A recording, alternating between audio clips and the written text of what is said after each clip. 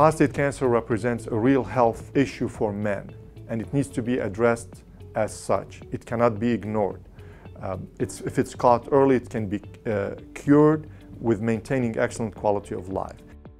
Prostate brachytherapy or, or seed implant is used as a primary modality to treat newly diagnosed prostate cancer, or it can be used in conjunction with other treatments such as hormone therapy and external beam radiation therapy for patients who have unfavorable prostate cancers.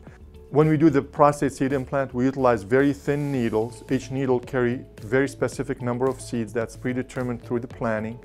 Uh, we utilize the needles to insert the radioactive seeds where they belong inside the prostate. Of course, the radioactive seeds stay in the patient to, to do their job, which is getting rid of the cancer. Of course, over time, the radioactivity disappears also. For, after a few months, there won't be any radioactivities of those seeds. Brachytherapy is the fact that the cure rate is fantastic and also the quality of life. Uh, mainly uh, the lack of any serious complications in terms of uh, leakage of urine. Uh, the, term, uh, the scientific term for that is urinary incontinence. And also uh, impotence. The people who, or men I should say, who have good potency, the odds of them of maintaining their potency for a few years is also excellent. of course, like anything else, there is a chance of serious complications, but those, are, those tend to be very low.